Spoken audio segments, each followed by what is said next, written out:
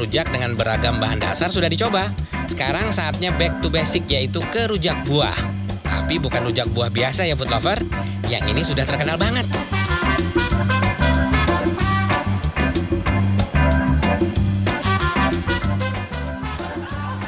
Assalamualaikum. Salam. Wah, ini nih nih. Apa kabar, Cak? No, baik Mas No. Waduh, ini rame banget ya. Iya nih. Waduh. Cak, ini ngomong rujak kolam Medan. Ah. Emang asli dari Medan nih? iya, kakek aku dari Medan. Wih, di... Jual di sana. Dulu jual di sana, sekarang udah nggak ada? Sekarang kakeknya udah nggak ada, jadi nggak ada yang di sana. Oh, ini jadi ngwarisin bumbu dari kakek nih ya? Iya. Resep dari kakek? Iya, resep dari kakek. Kakek dari Rosa, almarhum Haji Dahlan, awalnya berjualan di Medan.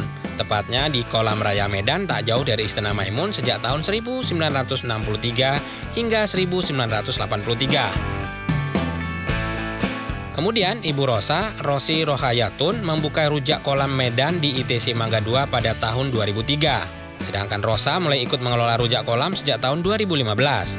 Ini kalau bumbu, Cak, Iya. ngomong-ngomong soal bumbu, ini asli model-model Medan gini kan ya? Iya. Dia kayak mirip-mirip dari Aceh juga gini kan. Jadi kalau Sumatera beda ya. Iya. Jadi deket banget dia. Terus ngomong-ngomong soal bumbu, terus buahnya ini. Kalau buah, dia modelnya gimana? Apa beli di pasar atau? Hmm, kita punya kebun sendiri sih kebetulan. Uh. Punya kebun sendiri di Tegal sama di Hmm. Kerawang. Tapi kalau misalnya kita di kebun lagi nggak produksi, kita cari di pasar. Oh gitu. Iya. Tapi kalau ngeliat dari buah emang dikontrol banget ya. Iya, dikontrol banget karena kan emang apa namanya?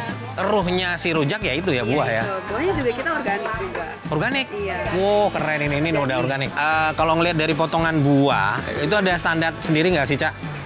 Ini kan ada motongnya harus gini gitu nggak sih? Harus ada apa? Iya harus ada seninya. Jadi yang yang motong tuh dia mesti belajar motong dulu, dulu juga sih selama dua mingguan. Jadi motong nggak ngasal juga, mesti cantik juga potongannya biar dilihatnya Oh, juga gitu. enak. Iya. Iya, motongnya harus juga harus cakep ya. Iya, iya. Matanya juga harus ada tataan buahnya. Jadi apa dulu yang di bawah, apa yang di tengah, apa yang di atas. Ini ngaruh ke rasa juga nggak sih kalau nyusun gini? Enggak. Nggak sih ya. Ngaruh. Tapi soal estetik aja. Si Iya, cantik estetik aja.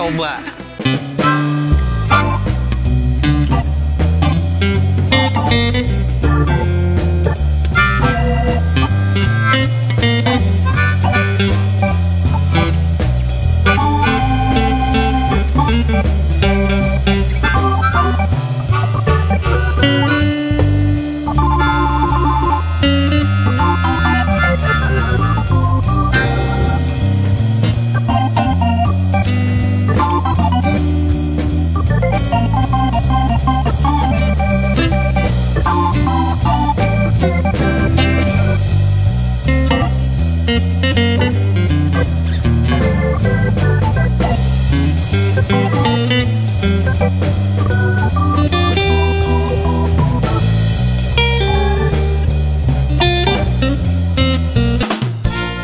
Tadi udah diajarin bikin rujak buah potong sama Rosa. Sekarang saatnya bunuh icip nih food lover. Sudah ada rujak buah potong, rujak serut, dan rujak bebek. Gak sabar buat nyobain semua nih. Biasa itu kalau rujak kekuatannya ada di buah dan sambelnya. Kalau buahnya seger, sambelnya oke, juara, ya kan? Cobain dulu.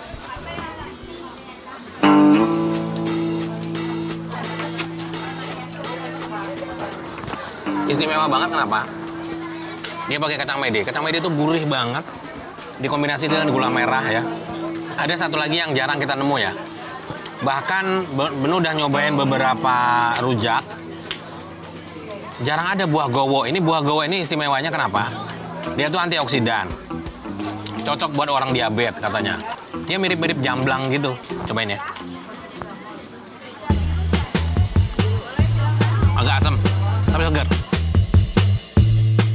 Rujak kolam Medan ini pakai jambu jenis citra food lover. Jambu jenis ini punya daging buah yang tebal, tekstur yang renyah, dan rasanya yang manis. Kita buktiin yuk food lover.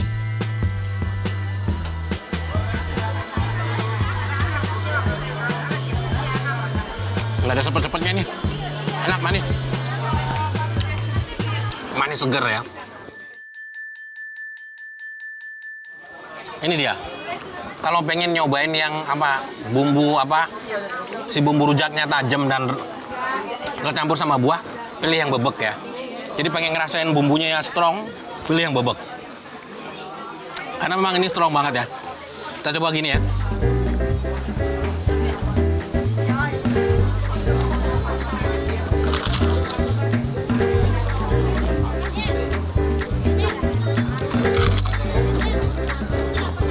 Jadi tadi disarankan, jadi kalau makan rujak tuh pakai kerupuk. Ternyata enak banget ya. Jadi kombinasi kerupuk dengan buah. Tapi sambelnya sebenarnya ini masalahnya. Enak banget.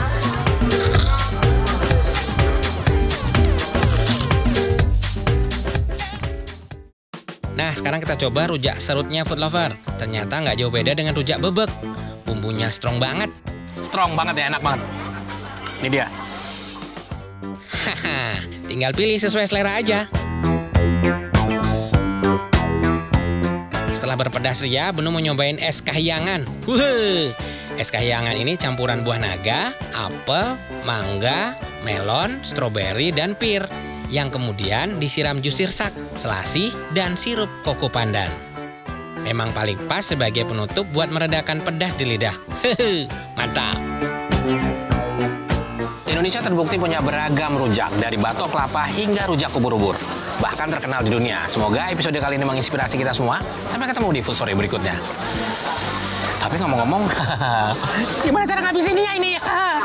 Mantap!